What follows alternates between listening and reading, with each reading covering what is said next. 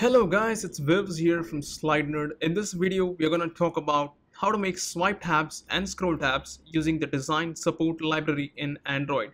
Let's take a look at a nice example that we are going to build in this video. This is what the example looks like. Currently, we have a navigation view and then we have our tabs over here with a view pager at the bottom. Let's try to break these components. For starters, we have our toolbar at the top, followed by a tab layout a navigation view, and a view pager.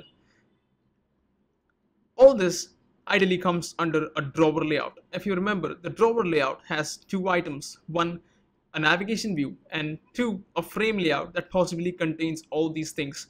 Let's take a look at the connection that needs to be done between the view pager and the tab layout. Whenever the tab changes, the page that is being displayed inside the view pager should also change. And when the user swipes the view pager, the tab should also update to display the current active tab. To do that, we are going to link both of them together. Before we do that, there are two things that I would like to point out. First, if you go to Google and if you type Slide Nerd Udemy, this is where I'll be adding all my how to app series that is on Android, iOS, the Appleware, and Android Wear. Second, if you go to my channel Slide Nerd, if you go to playlist, you will find this video along with the rest of the videos right here in the playlist called Android Material Design Tutorials.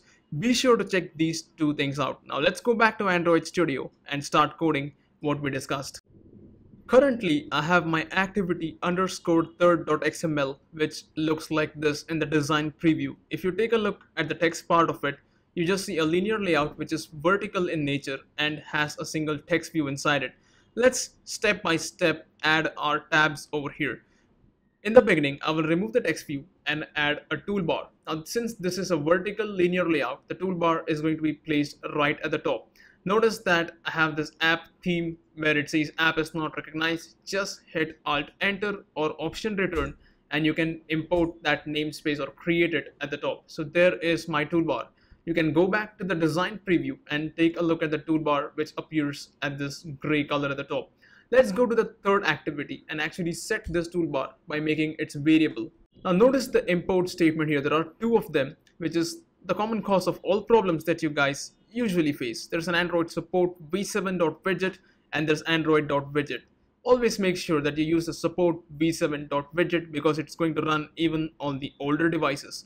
So let's select that and make a variable. After initializing that variable, you can just call set support action bar and the toolbar is going to be set. Since we called the set support action bar method, the toolbar is now seen here at the top. Now for the next step, let's add a tab layout right below this toolbar over here. The tab layout is actually defined as this class here inside the Android support design widget package. Be sure to read the documentation of this class because it contains everything and it is pretty self-explanatory. So we add the tab layout right below the toolbar inside our vertical linear layout. Take a look at these two attributes, it is tab gravity and tab mode. Tab gravity simply specifies what happens to the extra space that is left in case the tabs don't take up all the available horizontal space. There are two values, there is fill and there is center. You can experiment these values for yourself and let me know in the comments what you think about that. There is tab mode which is fixed and scrollable. I will show you what these two values do. But first, we need to have these tabs constructed in code otherwise you won't see anything. Also we need to set a background here which we can easily do that by saying color and say color primary over here since the color of the tabs matches with the color of your toolbar. So let's go back to code and initialize the tab layout. On navigating to the same activity after adding the tab layout this is what you see. It has taken up some space but there are no tab names over here. And that is because we need to add those tabs on the screen but before doing that, we need to add a view pager here so that we can scroll through some content on the screen. To do that, let's go back to activity underscore third and add a view pager right below the tab layout. So the code for adding a view pager would look something like this. We have an ID, we have given it a width of match parent, a height of zero because we are going to give it a layout weight of one indicating that it should take up all the available remaining vertical space. Now let's go back to code and initialize this view pager with a pager adapter. If you run the app currently, this is what you see on the screen. In other words, you see nothing and that is because a view pager displays a list of several pages, one at a time. We need to tell the view pager what page to be displayed at the given position. And that can be done with the help of a pager adapter. Here I have a class here of type fragment state pager adapter where I have the bare bones implementation. This method here, which is called fragment get item, is going to give you a position and it is going to ask you to return a fragment at that position.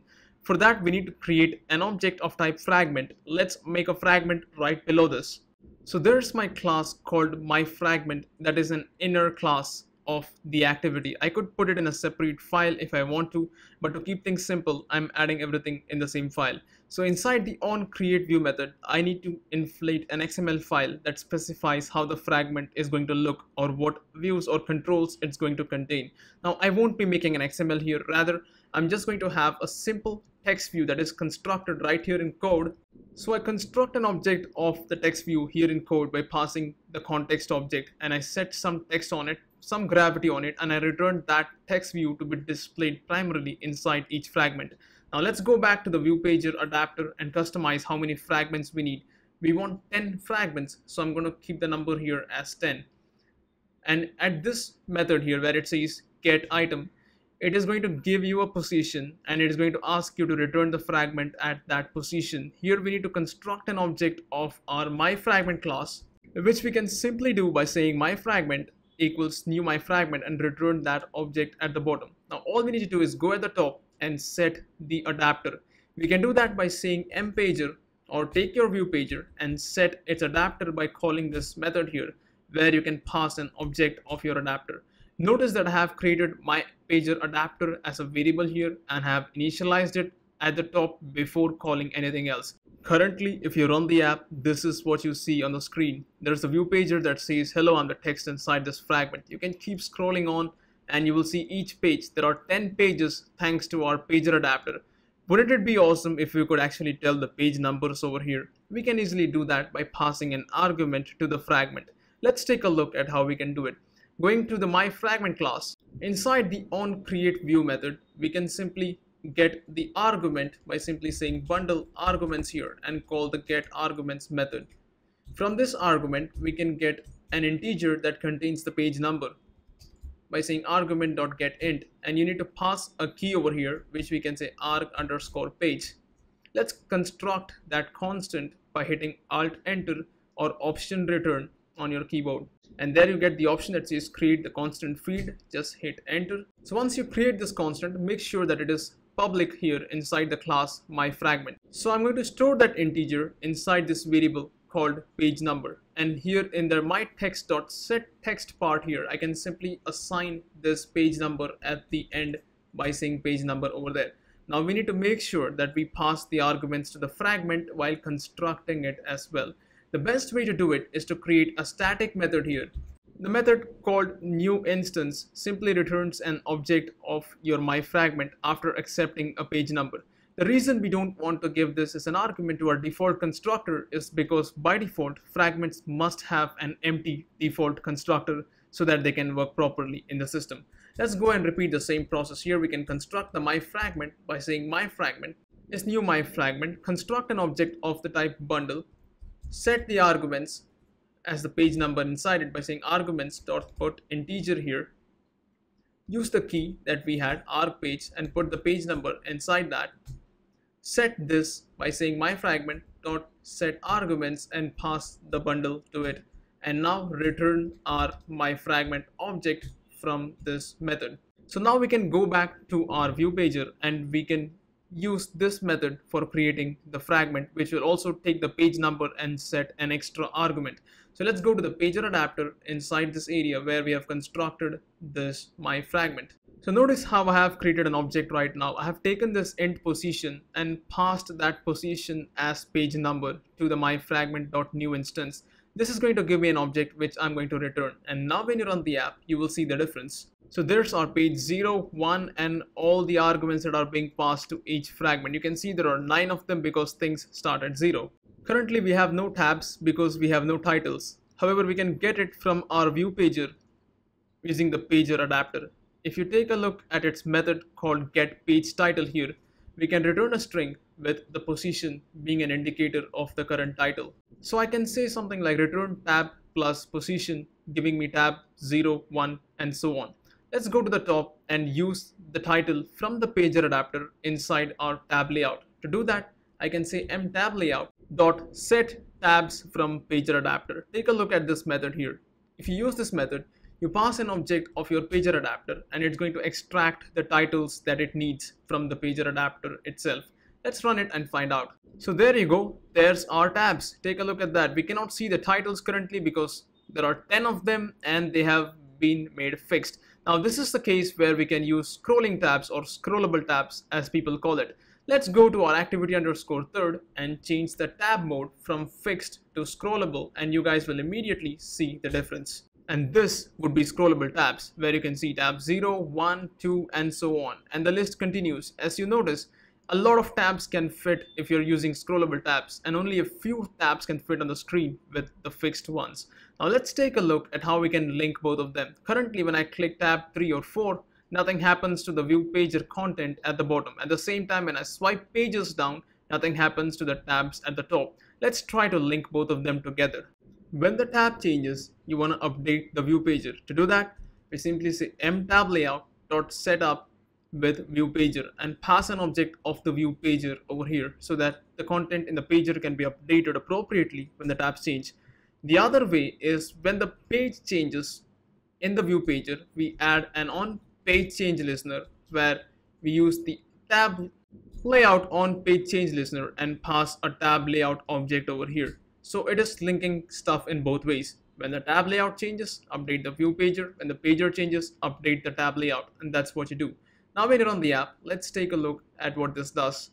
So there's our app running. You click on tab 2. Notice the page starts changing right there. I mean, swipe on the view pager, the tabs start changing at the top along with their indicator. Isn't that awesome? This is exactly what we wanted to build by linking the tab layout and the view pager together. There are a lot of attributes that you can customize about the tab layout by going to XML and simply typing tab over here. Notice the number of attributes that give you a chance to customize stuff. For example, you could say tab text appearance and use a particular style for it, which would be text appearance.design.tab over there. When the tab is selected, you can change the tab text selected color by choosing color accent for it. There's a lot of attributes like this, which you need to experiment and play around with. So notice now the current color is orange, which is our accent color. And as we move through, you see stuff happening. I won't be covering how to use a navigation view in this since we already did that in the previous video and the concepts are pretty similar. But this basically concludes our tab layout with the view pager. However, a lot of things need to be done. How to compress the tab when the user scrolls down the recycler view and how to make a parallax effect that you see in material design. All these things can be done with the help of the app bar layout, the coordinator layout, and the collapsible toolbar layout. And we are going to take a look at these in the next video. In the meantime, go to Google and type SlideNerd Udemy. Check out our social accounts, SlideNerd Twitter and SlideNerd Facebook and all the code for this video. And the rest of the videos is out there if you type SlideNerd GitHub on Google. I'll catch you guys in the next video. Thanks for watching. Have a nice day.